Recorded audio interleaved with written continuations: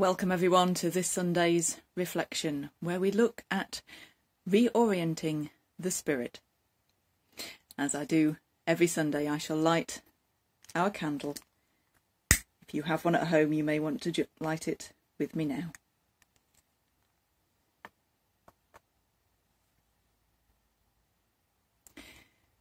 When the world is tilting and spinning around us, as dizzying as a fairground ride, how do we stay steady?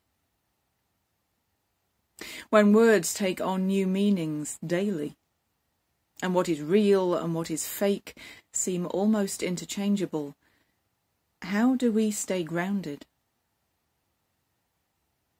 When there are constant demands for our attention, hot topics, cool buys, the biggest, the best, the newest, how do we stay focused? In the confusion and the chaos, we gather to reorient ourselves, to stay steady and grounded and focused, and to find our spiritual centre.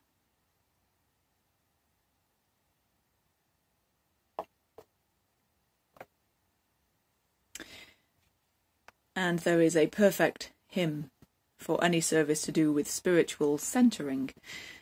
And it's number 21 in the Purple Book. And I'm hoping that Shirley Erena Murray, the author, will forgive me for quoting all three verses. Come and find the quiet centre in the crowded life we lead. Find the room for hope to enter. Find the space where we are freed. Clear the chaos and the clutter, clear our eyes that we can see all the things that really matter. Be at peace and simply be. Silence is a friend who claims us, cools the heat and slows the pace. God it is who speaks and names us, knows our being, touches base. Making space within our thinking, lifting shades to show the sun, raising courage when we're shrinking, finding scope for faith begun. In the spirit, let us travel open to each other's pain. Let our lives and fears unravel. Celebrate the space we gain.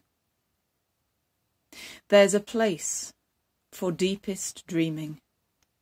There's a time for heart to care. In the spirit's lively scheming, there is always room to spare.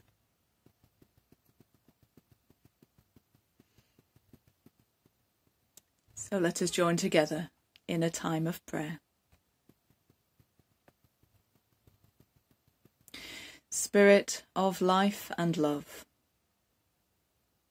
We have come together, looking once more to find that quiet centre.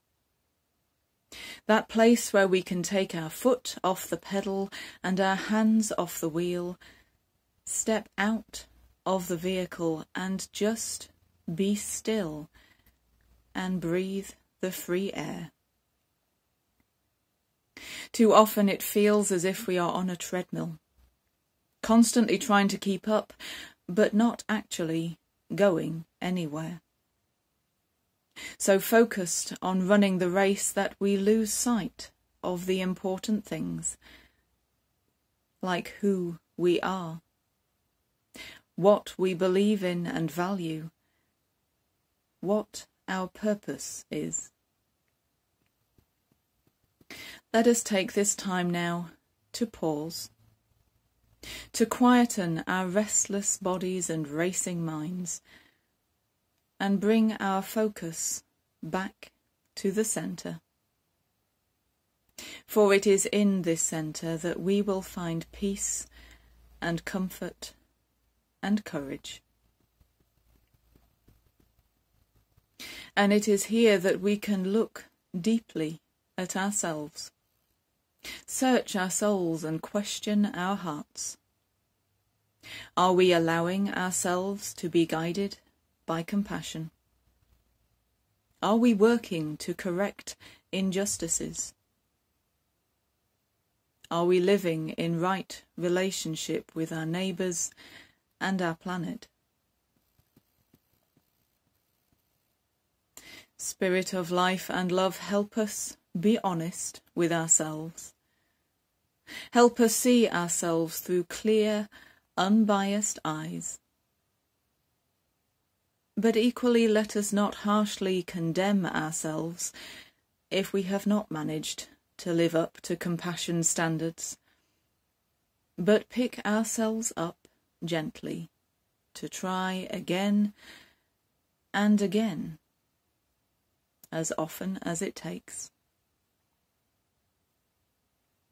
May this time of centering allow us to reset and begin afresh as we travel on in this new world and may we find our spiritual orientation guided by compassion and with the destination of love. Amen.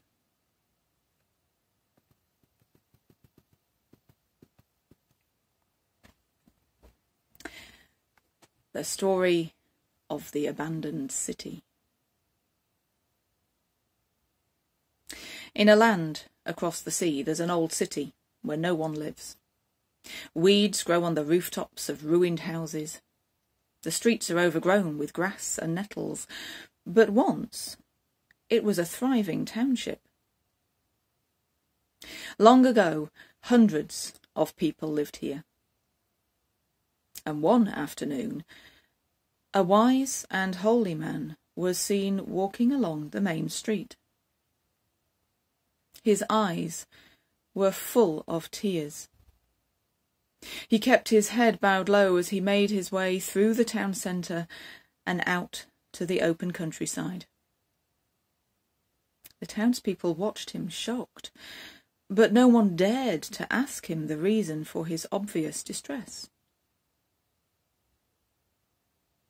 Then someone made a guess. Someone must have died at the other side of town, they suggested. A woman took up the story. Could it be the plague? she asked. Well, a young woman began to weep as she thought of how the plague might kill her little children.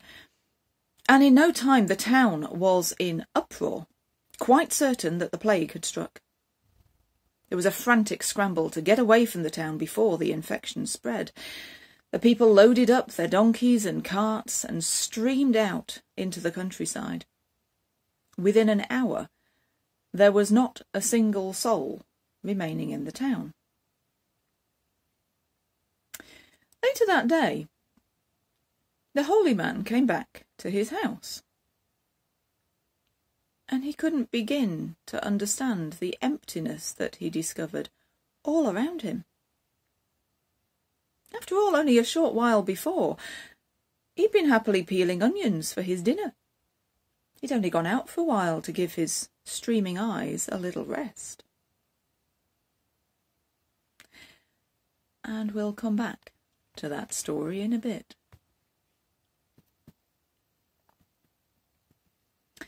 A more serious reading now by Karen Hering, entitled Oriented Times Three. The first time I saw the phrase oriented times three, I was working in a hospital as a chaplain. The phrase was used frequently in patients' charts, and at first I thought it might be shorthand for an extremely oriented patient, like being oriented to the third power or being uber oriented. I imagined a patient who was aware on many levels, sharp, quick, responsive, cognizant of what's going on inside her and around her. A nurse then explained to me that the phrase refers to being oriented to person, place, and time. A determination commonly made by asking patients, What is your name? Do you know where you are? Do you know what day it is? And I began to wonder if we might ask similar questions to determine if a person is oriented spiritually. What would it mean to be spiritually oriented times three? And what questions might we ask to determine that? What is your name? Do you know who you are? Do you know whose you are? Do you know where you are? What is your place in the world, in your life, in your relationships? What day is it today? What time is it in your life? What is it time for? What are you living for? Today, tomorrow, yesterday. These are not unrelated to other questions I ask all the time in hospital rooms, in the pulpit on Sunday, on long nights when I'm alone. What do I believe? Where do I belong? What does it all mean? Certainly I know the questions better than the answers. But I also know this. We all have spiritual compasses inside us that help us to arrive at our own answers. Sometimes we can read our compasses more easily than others, but we all have something that spins towards north, an inner tug towards the holy.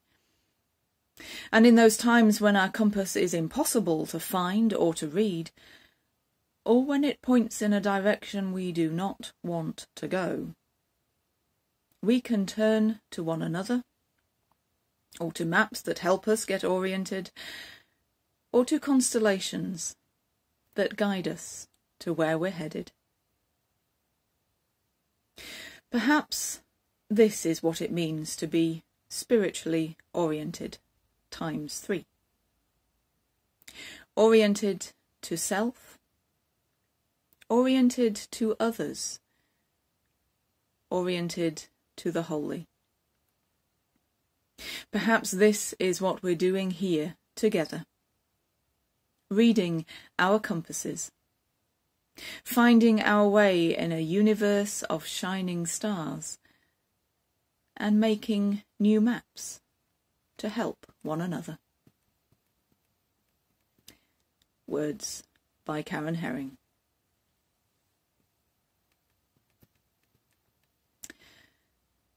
there's a lot of disorientation around at the moment. How many of us struggle to work out what day it is, or even what month it is? The loss of all our regular activities. Tuesday coffee morning, Thursday choir, and Sunday service were my anchors, has left us feeling a bit washed up and stranded.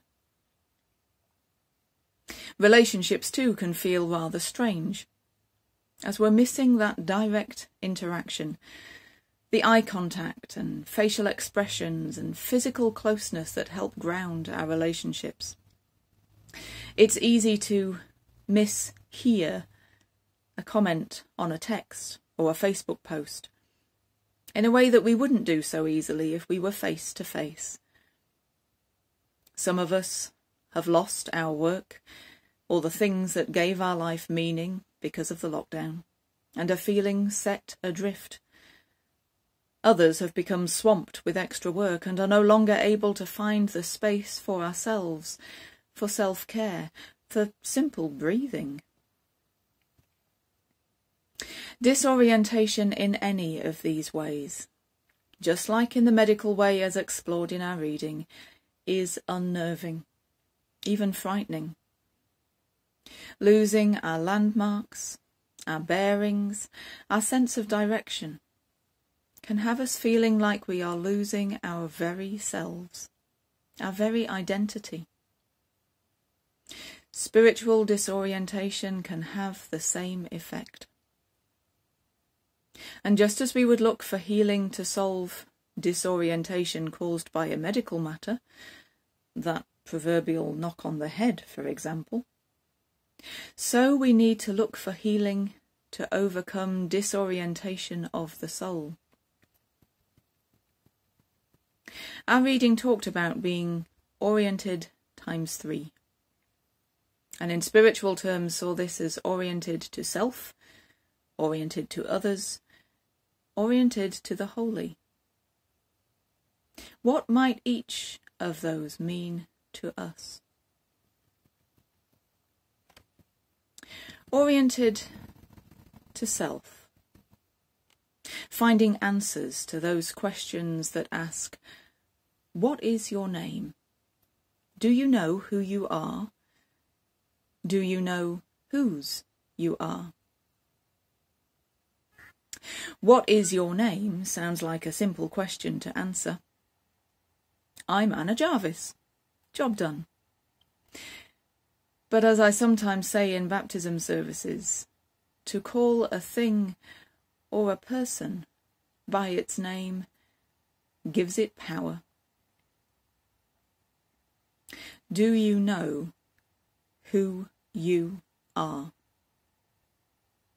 Do you know what makes you you? Your character, your likes and dislikes, your pleasures and your fears, and your flaws. Are you willing to acknowledge all the aspects of who you are? Those that you are proud of, and more challengingly, those that you are ashamed of. And lastly, do you know whose you are? Not just who do you belong to in terms of family, but in terms of community. That question moves us on to the next aspect of orientation. Do you know where you are? What is your place in the world, in your life, in your relationships? For spiritual orientation, this does not involve geography, but society. Where are you on your path through life? And how does it relate to the people and the problems of the world around you? Knowing yourself means knowing how you stand with other people. Where are you making your stand? On the side of comfort and ease and ignorance? Or on the side of love, with all its challenges and discomforts, but also all its honesty and compassion. And oriented to the holy. What day is it today? What time is it in your life? What is it time for? What are you living for today, tomorrow, yesterday?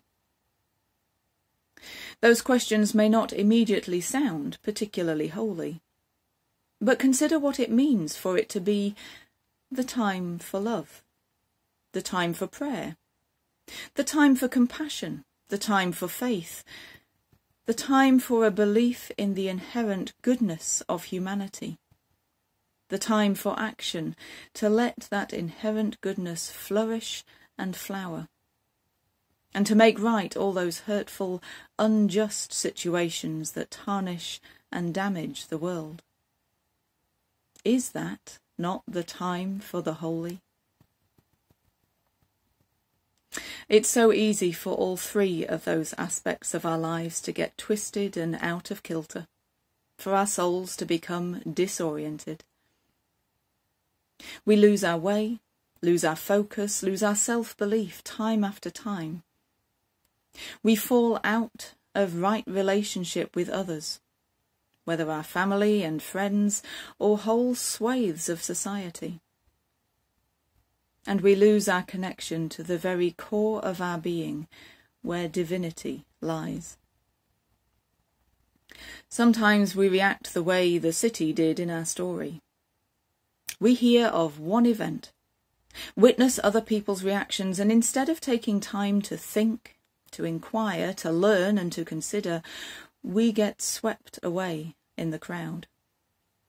The mind of the mob takes over, and we can do things, say things, even feel things that if we were rightly oriented, we would not normally do.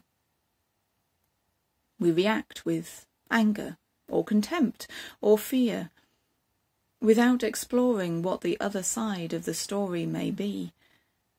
We become truly disoriented. But we do not have to stay disoriented. As our reading reminded us, we all have spiritual compasses inside us that help us to arrive at our own answers. Sometimes we can read our compasses more easily than others, but we all have something that spins towards north, an inner tug towards the holy. And in those times when our compass is impossible to find or to read, or when it points in a direction we don't want to go, we can turn to one another, or to maps that help us get oriented, or to constellations that guide us to where we're headed. We can find our way again. There are treasure troves of wisdom all around us that can help, whether that's the Bible, the Koran, the Buddhist's path, the Quaker's silence, or Winnie the Pooh. And there are friends around us who will listen as we tell our tales of lostness, and who will often be able to help us see our path lying right there at our feet, when before it was hidden in fog. But reorienting the spirit is not a once only task. Even the most experienced sailor needs to keep their eyes on the stars and their hands on the tiller. Otherwise they drift off course. And that's when the treachery rocky shoals can cause havoc and threaten us with shipwreck. Every day we need to ask ourselves those questions. Who am I? Where am I? What day is it? Do I truly know myself? Do I know where I am and where I'm going? Have I made this the time for love and justice? Only then will we be truly oriented to self, to others, and to the holy.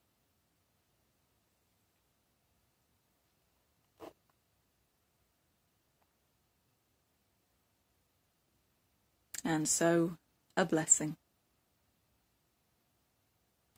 May you find time each day to offer yourself the gift of quietness and peace. May you find time each day to check the compass of your life and your soul. May you find time each day to reorient yourself back to love, back to right relationship, back to divinity and may you truly know who you are, where you stand, and that this is your time. Amen.